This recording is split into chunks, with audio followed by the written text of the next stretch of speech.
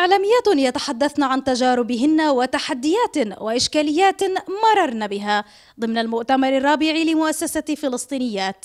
مؤتمر عقد بين رام الله وغزة في ذات التوقيت لبحث واقع الصحفيات وأزمة المؤسسات والأطر الصحفية الفلسطينية في فرصة للإعلاميات لإعلاء صوتهن وللحديث عن همومهن. مؤتمر الإعلاميات يتحدث أنه هو أوسع مساحة تشاركية للإعلاميات الفلسطينيات. بالعادة هم كانوا يدعوا إلى المؤتمرات من أجل الحضور أو من أجل التغطية.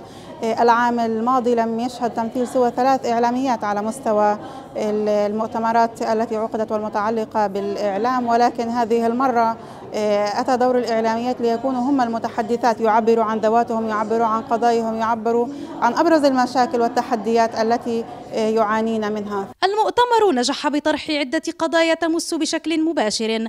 واقع الصحفيات ويوميات عملهن فكل جلسة ونقطة حوار ومساءلة كانت تهدف لتعزيز الهدف الرئيسي وهو تمكين الإعلاميات من القيام بدورهن الحقيقي وتفعيل أدوارهن بشكل أقوى في النقابة والكتل والأطر الصحفية وصولا للمشاركة الفاعلة في صناعة المشهد الإعلامي. أسباب عزوف اللي هو صحفيات عن آه، الانتساب لهذه الكتل والأطر الصحفية. كانت هدف الورقة تبعتي إنه أنا إحنا نتوصل لحل جذري وليس بس مجرد إنه أنا آه، أطرح آه، أطرح كلام وبالنهاية ما يكون في تطبيق على أرض الواقع. وكنت بتمنى يعني يكون في هذه الجلسة انه يكون كل كافة الأطر والنقابه حضورهم وتواجدهم ليعرفوا مطالبنا شو هي الحقيقية ويكون في تحرك آه، على أرض الواقع. عقد هكذا مؤتمر وبشكل دوري سيبقي هذه المنصة.